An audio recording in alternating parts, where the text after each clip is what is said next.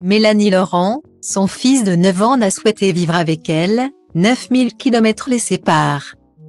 Mélanie Laurent court les interviews depuis plusieurs jours.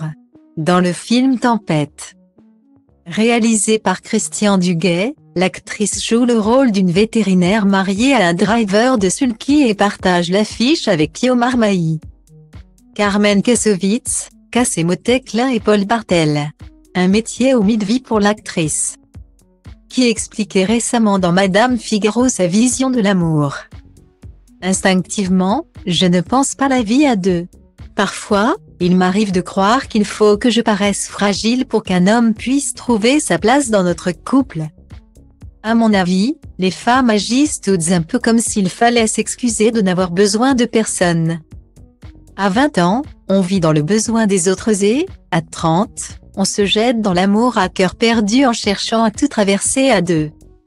À 40 ans, on acte le fait que si on est seul, on sait se débrouiller, confiait la muse de Quentin Tarantino. Pour autant, Mélanie Laurent a laissé de la place à l'amour dans sa vie puisqu'elle est la maman de deux enfants.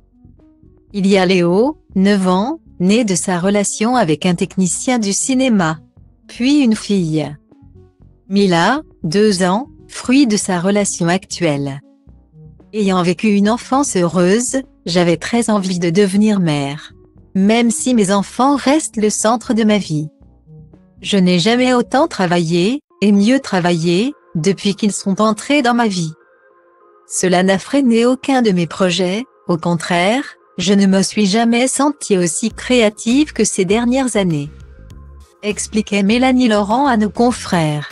Mais justement, avoir une maman actrice n'est pas simple pour des enfants. Auprès de Version Femina, la sœur de Mathieu Laurent a expliqué que son petit Léo a décidé de ne plus vivre avec elle, mon fils a eu envie d'un quotidien stable, ce que j'ai respecté. Il est avec son père et je fais des allers-retours. A-t-elle dévoilé, indiquant conjuguer sa vie entre les États-Unis et la Bretagne. Un rythme de vie qui permet au petit garçon de s'épanouir complètement.